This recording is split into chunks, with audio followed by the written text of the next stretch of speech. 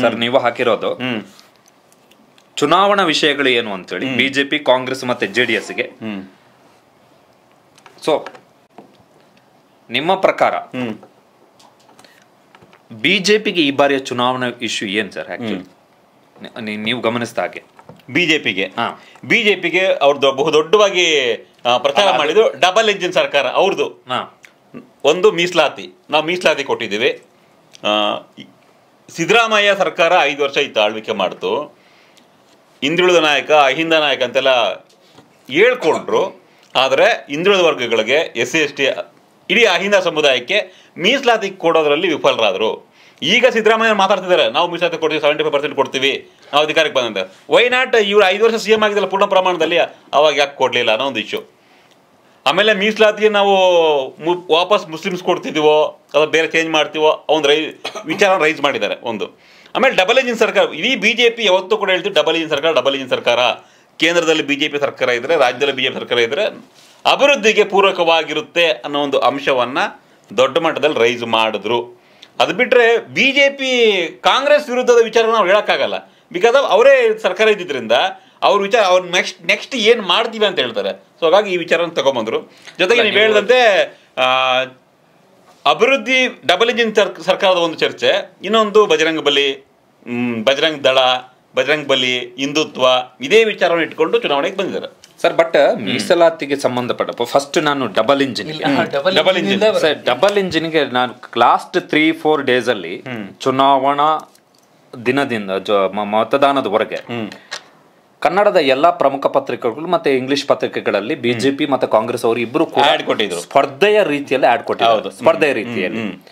Double engine BJP add ಅಲ್ಲಿ ಇದ್ದಂತಹ first ಕೆಳಗಿನ ಭಾಗದಲ್ಲಿ ಕರ್ನಾಟಕದ ಬಿಜೆಪಿಯ ನಾಯಕರು ಮೇಲ್ಭಾಗದಲ್ಲಿ ಸನ್ಮಾನ್ಯ ಶ್ರೀ ನರೇಂದ್ರ ಮೋದಿ ಅವರು. ಕಂಟೆಂಟ್ ಕೊಟ್ರು. ಬಟ್ ವೆರಿ ಇಂಪಾರ್ಟೆಂಟ್ ಪ್ರಶ್ನೆ ಸೇಮ್ ಕಾನ್ಸೆಪ್ಟ್ ಅನ್ನ ಬಿಜೆಪಿ ಹಿಮಾಚಲ ಪ್ರದೇಶದಲ್ಲೂ ಪ್ರಯೋಗ ಮಾಡಿದೆ. ಸೇಮ್ ಕಾನ್ಸೆಪ್ಟ್ ಅನ್ನ ಡಬಲ್ ಇಂಜಿನ್ ಕಾನ್ಸೆಪ್ಟ್ ಅನ್ನ. ಸೇಮ್ ಕಾನ್ಸೆಪ್ಟ್ ಅನ್ನ ಇತರ ರಾಜ್ಯಗಳಲ್ಲೂ ಕೂಡ ಬಿಜೆಪಿ ಪ್ರಯೋಗ ಮಾಡಿದೆ. ಇಲ್ಲಿ ಡಬಲ್ ಇಂಜಿನ್ಗೆ ನನ್ನ ಅನಿಸಿಕೆ ಪ್ರಕಾರ ಐ ಆಮ್ ನಾಟ್ ನಿಮ್ಮ ನಿಮ್ಮ ಅಭಿಪ್ರಾಯಕ್ಕೆ ನಾನು ವಿರೋಧ ಅಂತಲ್ಲ. ನನ್ನ ಅನಿಸಿಕೆ ಪ್ರಕಾರ ನಿಮಗೆ ಆಲ್ರೆಡಿ ನಾಲ್ಕು ವರ್ಷ ಡಬಲ್ ಇಂಜಿನ್ ಮಾಡಲಿಕ್ಕೆ ಅವಕಾಶ ಮಾಡಿ ಕೊಟ್ಟ ಬಳಿಕ ಲಾಸ್ಟ್ ಫೋರ್ ಇಯರ್ಸಲ್ಲಿ ಆ್ಯಸ್ ಎ ಡಬಲ್ ಇಂಜಿನ್ ನೀವು ಸಾಧಿಸಿದ್ದೇನೋ ಎನ್ನುವಂಥದ್ದು ಪ್ರಶ್ನೆ ಅದಕ್ಕೆ ಬಿಜೆಪಿ ಅವ್ರ ಹತ್ರ ಆನ್ ಗ್ರೌಂಡ್ ಉತ್ತರ ಇಲ್ಲ. ಮತದಾರರ ಹತ್ರ ಮಾತಾಡಿದ್ರೆ ನೀವು ಡಬಲ್ ಇಂಜಿನ್ ಅಂದ ತಕ್ಷಣ ಜನ ನಮಗೆ ಉಗಿಯೋ ಲೆವೆಲ್ ಅಲ್ಲಿ ಇತ್ತು ಪರಿಸ್ಥಿತಿ. ಒಂದು. ಎರಡನೇದ್ದು ಮೀಸಲಾತಿ ಹೇಳಿದ್ರಿ. ಬಸವ ಅವರು ಆರಂಭದಲ್ಲಿ ಹೇಳಿದ್ರು ವಾಲ್ಮೀಕಿ ಸಮುದಾಯದ ಸ್ವಾಮೀಜಿ. ಆಮೇಲೆ ನಾವು ಬೆಳಿಗ್ಗೆ ಡಿಸ್ಕಷನ್ ಮಾಡಿದಾಗ್ಲೂ ಕೂಡ ಹೇಳಿದ್ವಿ. ಮೀಸಲಾತಿ ಬಿಜೆಪಿ ಕೊಟ್ಟಂತಹ ಮೀಸಲಾತಿ more than convincing hmm. It raises many questions actually hmm. ಉದಾಹರಣೆಗೆ ವಾಲ್ಮೀಕಿ ಸಮುದಾಯದ ಸ್ವಾಮೀಜಿಯೊಬ್ಬರು ಪ್ರಮುಖ ಸ್ವಾಮೀಜಿಯೊಬ್ಬರು ಇನ್ನೂರು ದಿನ ವಿಧಾನಸೌಧದ ಹತ್ತಿರದಲ್ಲೇ ಇರುವಂತಹ ಫ್ರೀಡಂ ಪಾರ್ಕ್ನಲ್ಲಿ ಧರಣಿ ಕೂರಬೇಕಾದಂತಹ ಪರಿಸ್ಥಿತಿಯನ್ನು ಅವರದ್ದೇ ಪಕ್ಷ ಕ ಎರಡು ಸಾವಿರದ ಹದಿನೆಂಟರ ಚುನಾವಣೆಗೆ ಹೋದಂತಹ ಸಂದರ್ಭದಲ್ಲಿ ಕೊಟ್ಟಂತಹ ಹೇಳಿಕೆಯ ಬಳಿಕವು ಒಬ್ಬರು ಸ್ವಾಮೀಜಿ ಇನ್ನೂರು ದಿನ ಕೂತಿದ್ದು may be sent wrong message ಆ ಕಮ್ಯುನಿಟಿಯಲ್ಲಿ ಬಿ ಜೆ ಪಿಯ ಬಗ್ಗೆ. ರಾಮುಲು ಅವರು ಹೇಳಿದ್ರು ರಾಮುಲದ್ದು ದಟ್ ಈಸ್ ದ ಎರಡು ಪಾಯಿಂಟ್ ಆಮೇಲೆ ನೀವು ಹಿಂದುತ್ವ ಮತ್ತೆ ಬಜರಂಗದಳ. ನನ್ನ ಪ್ರಕಾರ it's my gut feeling that Bajrang Dal issue ಕರ್ನಾಟಕದಲ್ಲಿ ಪಿಗೆ ಲಾಭವನ್ನು ತಂದುಕೊಟ್ಟಿಲ್ಲ. Then it benefited Congress in the ground to consolidate Muslim votes more than expected level ಇದು ಎರಡನೇದು. ಆಮೇಲೆ ಹಿಂದೂ ವಿರೋಧಿ. ಹಿಂದೂ ವಿರೋಧಿ.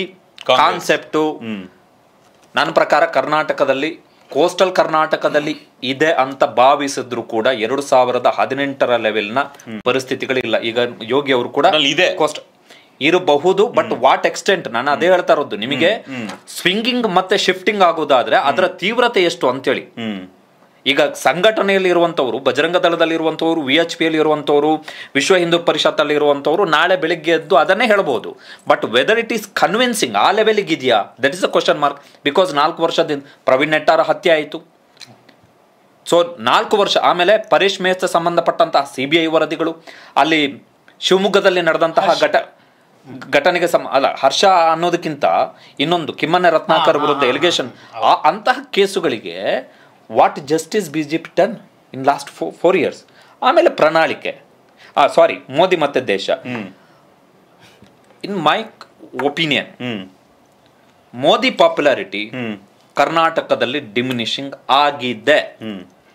ಡಿಮಿನಿಷಿಂಗ್ ಆಗಿದೆ. ಆಸ್ ಎ ಒಂದು ವೇಳೆ ನಾನು ಬಿ ಜೆ ಪಿ ಕಾರ್ಯಕರ್ತನಾಗಿದ್ರೆ ನನಗೆ ಮೋದಿ ನನ್ನ ಏಕಮೇವ ಅದ್ವಿತೀಯ ನಾಯಕ. ನಾನು ಜೆ ಡಿ ಎಸ್ ಅವನಾಗಿದ್ದರೆ ನನಗೆ ಕುಮಾರಸ್ವಾಮಿ ನಾಯಕ. ನಾನು ಸ್- ಕಾಂಗ್ರೆಸ್ನವನಾಗಿದ್ರೆ ನನಗೆ ಸಿದ್ದರಾಮಯ್ಯ ಇಲ್ಲ ಡಿ ಕೆ ಶಿ ನಾಯಕ. ಬಟ್ ಜನರಲ್ಲಿ ಜನರಲ್ಲಿ ಮೋದಿ ನಾಯಕನಾಗಿ ಉಳಿದಿಲ್ವಾ ಈಗ? ಪಾಪ್ಯುಲಾರಿಟಿ ಪಾಪ್ಯುಲಾರಿಟಿ ಲೋಕಸಭೆ ಎಲೆಕ್ಷನ್ಗಲ್ಲ ನಾನು ಹೇಳ್ತಾ ಇರೋದು. I am saying about state election ಕರ್ನಾಟಕದ ಚುನಾವಣೆಯ ಸಂದರ್ಭದಲ್ಲಿ ಮೋದಿ ಜನಪ್ರಿಯತೆ ಡಿಮಿನಿಷಿಂಗ್ ಆಗಿದೆ.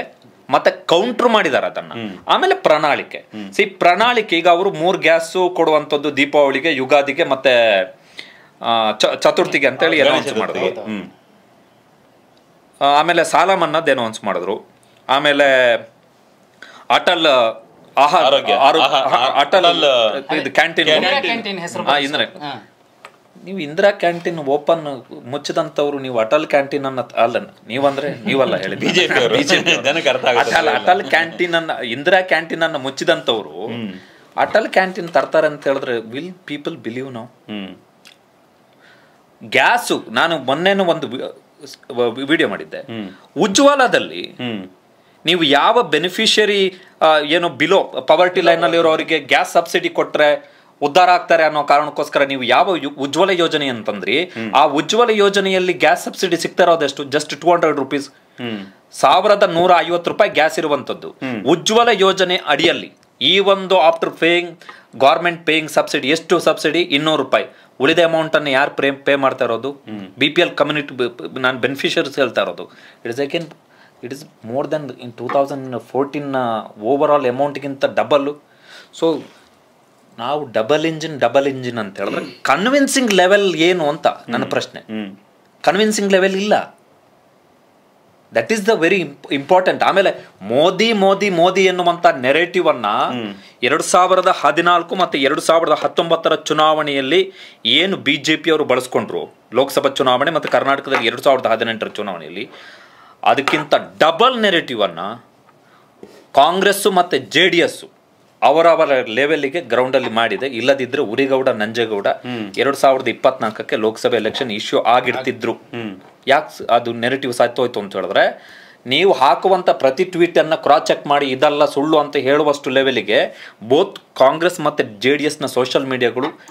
ಅಗ್ರೆಸಿವ್ ಆಗಿದೆ. ಎರಡ್ ಸಾವಿರದ ಹದಿನಾಲ್ಕಕ್ಕಿರಲಿಲ್ಲ ಎರಡ್ ಸಾವಿರದ ಹತ್ತೊಂಬತ್ತರಲ್ಲಿ ಪುಲ್ವಾಮಾ ಡಿಫ್ಯಾಕ್ಟೋ ರೀಸನ್ಸ್ ಇತ್ತು. ಎರಡು ಸಾವಿರದ ಹದಿನೆಂಟಕ್ಕೆ ಕಾಂಗ್ರೆಸ್ನ ವಿರುದ್ಧ ಆಡಳಿತ ವಿರೋಧಿ ಅಲೆ ಇತ್ತು. ಸಿದ್ದರಾಮಯ್ಯ ಅವ್ರನ್ನ ಅಹಿಂದ ನಾಯಕನನ್ನ ಹಿಂದೂ ವಿರೋಧಿ ಮಾಡಿಬಿಟ್ಟು ಮಾಡಿಬಿಟ್ರು. ಸೊ ಇಷ್ಟು ಪ್ರಾಜೆಕ್ಟ್ ಇಷ್ಟು ಇಶ್ಯೂಸ್ ಇದ್ದಂಥ ಸಂದರ್ಭದಲ್ಲಿ ನಾವು ಒಟ್ಟಿನಲ್ಲಿ ಈ ಲಾಸ್ಟ್ ಎಲೆಕ್ಷನ್ ಗಳಿಗೆ ಕಂಪೇರ್ ಮಾಡ್ರೆ ಈ ಸಲ ಪಕ್ಷಗಳು ಸ್ಟ್ರಾಂಗ್ ಆಗಿಲ್ಲ ಸೋಷಿಯಲ್ ಮೀಡಿಯಾ ಸ್ಟ್ರಾಂಗ್ ಅಲ್ಲ ಆಗಿಲ್ಲ ಸೋಷಿಯಲ್ ಮೀಡಿಯಾ ಆಮೇಲೆ ಡಿಜಿಟಲ್ ಮೀಡಿಯಾ ನಾನು ಹೇಳ್ತಿರೋದು ಈಗ- ಒಂದೇ. ಈಗ- ಈಗ ಇದೆಲ್ಲ ಹೇಳಿದ್ರಿ. ಈಗ ಇವ್ರ ಅಕ್ಷಯ್ ಇದೆಲ್ಲ ಹೇಳಿದ್ರು. So Congress in guarantee card ಕೊಡ್ತಾ ಇದೆ ನಾನ್- ಅದೇ ವಿಚಾರಕ್ಕೆ ಬಂದೆ. ಇಟ್ಸ್ ಪಾಸಿಬಲ್ ಹೇಗ್ ಸಾಧ್ಯ ಅಂತ.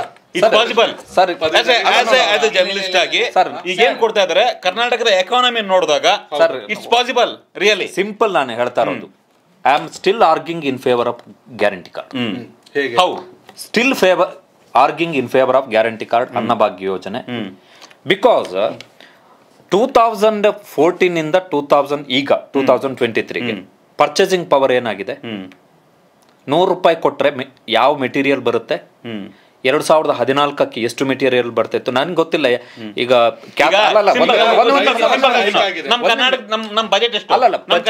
ಮೂರು ಲಕ್ಷ ಕೋಟಿಗಿಂತ ಜಾಸ್ತಿ ಇದೆ. ಸಿ ಇಟ್ ಇಸ್ ಅಲ್ವಾ? ಈ ಒಂದು ಇಟ್ ಇಸ್ ನಾನು ಹೇಳ್ತಾ ಇರುವಂತದ್ದು ನಿಮಗೆ ಗ್ಯಾರಂಟಿ ಕಾರ್ಡು ಬರ್ಡನ್ ಆಗ್ಲಿಕ್ಕೆ ಹೆಂಗ್ ಸಾಧ್ಯ ಅಂತ See, ಪ್ರಶ್ನೆ. ನಾನು- ಅಲ್ಲಿಗೆ ಬರ್ತೀನಿ. ಈಗ ಮೂರ್ ಲಕ್ಷ ಕೋಟಿ ನಮ್ ಬಜೆಟ್ ಆಯ್ತಾ? ಮೂರ್ ಲಕ್ಷ ಕೋಟಿ ಬಜೆಟ್ ಅಲ್ಲಿ ನಮ್ದು ಆಲ್ಮೋಸ್ಟ್ ಫಾರ್ಟಿ ಪರ್ಸೆಂಟ್ ಇದಕ್ಕೆ ಹೋಗುತ್ತೆ ಸ್ಯಾಲ್ರೀಸ್ಗೆ ಹ್ಮ್. ಅಲ್ವಾ? ನೀನ್ ಇನ್ ಸಿಕ್ಸ್ಟಿ ಪರ್ಸೆಂಟ್ ಮಾತ್ರ ಉಳಿಯುತ್ತೆ. ಈಗ ನಮ್ಮ ಕರ್ನಾಟಕದಲ್ಲಿ ಲೆಕ್ಕದ ಪ್ರಕಾರ ಒಂದು ಕೋಟಿ ಹತ್ತು ಲಕ್ಷ ಬಿ ಪಿ ಎಲ್ ಕಾರ್ಡ್ಸ್ ಇದಾವೆ ಒಂದು ಕೋಟಿ ಹತ್ತು ಲಕ್ಷ ಬಿಪಿಎಲ್ ಪಿ ಎಲ್ ಕಾರ್ಡ್ಸ್ ಇದೆ ಕರ್ನಾಟಕದಲ್ಲಿ ಆಸ್ ಪರ್ ರೆಕಾರ್ಡ್ಸ್ ಒಂದು ಒಂದು ಕೋಟಿ ಹನ್ನೆರಡು ಲಕ್ಷ ಇದೆ. ನಾವು ಒಂದು ಎರಡು ಲಕ್ಷ ಕಮ್ಮಿ ಮಾಡ್ಕೋಣ ಅದನ್ನ ಅಕಸ್ಮಾತ್ ಓಕೆ ಇನ್ನೂ ಸಗ್ರಿಯೇಟ್ ಮಾಡಿದ್ರೆ ಇನ್ನೂ ಹತ್ತು ಲಕ್ಷ ಹೋಗ್ಬೋದು ಅನ್ಕೊಳ್ಳಿ. ಒಂದು ಎಲ್ಲ ಪೂರ್ತಿ ಒಂದು ಕೋಟಿ ಬಿಪಿಎಲ್ ಪಿ ಎಲ್ ಕಾರ್ಡ್ಸ್ ಇದಾವೆ ಎರಡು ಲಕ್ಷ ಇದು ಎರಡ್ ಸಾವಿರ ರೂಪಾಯಿ ತಿಂಗಳು ಕೊಡ್ತೀವಿ ಮನೆ ಹೊಡೆದಿಗೆ ಅಂದ್ರೆ. ಅಂದ್ರೆ ಆ, ಒಂದು ಒಂದು ಕೋಟಿ ಮನೆಗಳಿಗೆ ಕೊಡಬೇಕು. ಅಲ್ಲ ಕಾಂಗ್ರೆಸ್ ಅಲ್ಲಿ ಒಂದಷ್ಟು ಷರತ್ತುಗಳನ್ನ ಅನ್ವಯಿಸುತ್ತೆ ಅಂತ ಹೇಳ್ತಿದೆ. ಅಲ್ಲ, ಜೊತೆಲಿ ಅಲ್ಲ ಜೊತೆಲಿ ನ ವಕ್ತಾರರೆ ಒಂದು ಡಿಬೇಟ್ ಅಲ್ಲಿ ಹೇಳ್ತಾರೆ ಮೂವತ್ ಸಾವಿರ ಕೋಟಿ ಖರ್ಚಾಗುತ್ತೆ ಅದಕ್ಕೆ ಎರಡ್ ಸಾವಿರ ರೂಪಾಯಿ ಕೊಡ್ಲಿಕ್ಕೆ ಅಂತ. ನೀವು ಹೇಳಿದ್ದು ಬಜೆಟ್ ಒಂದು ವರ್ಷಕ್ಕೆ ಒಂದ್ ವರ್ಷ ವರ್ಷಕ್ಕೆ. ಒಂದ್ ವರ್ಷಕ್ಕೆ. ಒಂದ್ ನಮ್ಮ ಒಂದ್ ವರ್ಷದ ಬಜೆಟ್ ಎಷ್ಟಿದೆ ಅಂತಾನು ನೋಡ್ಕೊಳ್ಳಿ. ಜೊತೆಲಿ ಕೋಟಿ. ಜೊತೆಲಿ ಅಲ್ಲ ಬರೀ ಇದು ಬರೀ ಗ್ಯಾರೆ ಏನು ಇಲ್ಲ, ಇಲ್ಲ, ಎರಡ್ ಸಾವಿರ ಇಲ್ಲ, ರೂಪಾಯಿಗೆ ಖಂಡಿತ, ಖಂಡಿತ. ಆಮೇಲೆ ಇನ್ನೂರು ಯೂನಿಟ್ ಫ್ರೀ. ಅಲ್ಲೂ ಕೂಡ ಅಲ್ಲೂ ಕೂಡ ಅವರು ಕೆಲವು ಷರತ್ತುಗಳನ್ನೇ ಇಟ್ಕೊಂಡಿದ್ದಾರೆ. ಯಾರು ಕೊಡ್ಬೇಕು ಯಾರು ಕೊಡಬಾರ್ದು ಇನ್ನೂರು ಯೂನಿಟ್ ಅಂದ್ರೆ ಈಗ ಬೆಂಗಳೂರಲ್ಲಿ ನಮ್ಮ ಮನೆಗೆ ನೂರು ಯೂನಿಟ್ ಖರ್ಚಾದ್ರೆ ಎಂಟ್ನೂರ ಐವತ್ತು ಬಿಲ್ ಬರುತ್ತೆ. ಸಿಗುತ್ತೆ ಅಂತ ಅವರು ಹೆಂಗ್ ಗ್ಯಾರಂಟಿ ಹೇಳಿಲ್ಲ ಸರ್? ಅಲ್ಲ ಸತೀಶ್ ಅದು ಕೂಡ ನೋಡಿ. ಡಿ ಕೆ ಶಿವಕುಮಾರ್ ಅವರು ಸ್ಪಷ್ಟವಾಗಿ ಹೇಳಿದ್ದಾರೆ. ಒಂದು ಒಂದು ಪ್ರಶ್ನೆ ನಾನು